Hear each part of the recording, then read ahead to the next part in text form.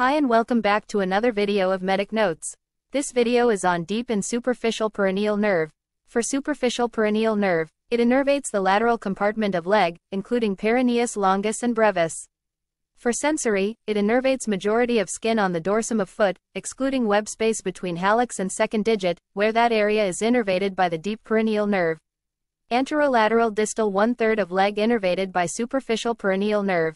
For the nerve's course, it started from the bifurcation of the common peroneal nerve, goes to the proximal neck of fibula, passes between peroneal muscles and lateral side of extensor digitorum longus.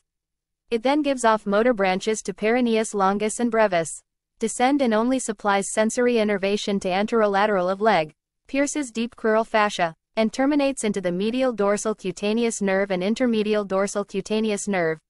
For its clinical conditions, superficial peroneal nerve entrapment, ankle sprains and ankle twisting causing stretching of superficial peroneal nerve, or compression where the nerve exits the deep fascia of the leg. Patients present with pain and paresthesia over dorsum of foot, or can be due to direct damage to the nerve by fractures of the proximal fibula or perforating injury to lateral leg. Patients present with loss of eversion due to motor to peroneus longus and brevis injured, and loss of sensation over most of dorsal foot and anterolateral aspect of distal leg. Next we look at the deep peroneal nerve. It supplies motor of leg and foot, including the tibialis anterior, extensor digitorum longus, peroneus tertius, extensor hallucis longus, and lateral terminal branch, which are the extensor digitorum brevis and extensor hallucis brevis. For sensory, it innervates the articular branch to the ankle joint, and its medial terminal branch innervates the first dorsal web space.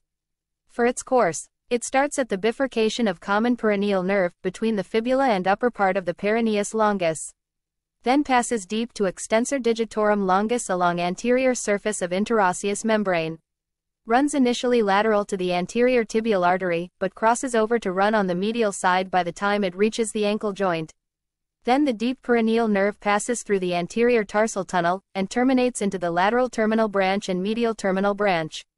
For clinical conditions, damage to this nerve results in foot drop, which is the most common isolated mononeuropathy of the lower extremity.